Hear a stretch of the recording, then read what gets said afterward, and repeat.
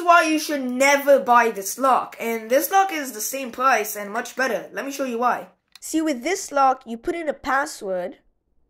Then from the bottom, click it. And it opens. But there's a way to hack it. Now subscribe and I'll show you how. And then you push every single one of them down. Do the click. But then you push it back up. Now you'll notice that one gets stuck. Just move on and keep going. And you'll notice that it opens. So why is this lock better? Because in this lock you twist it and it's much harder to break in. And I didn't find a way to hack it yet, but did you?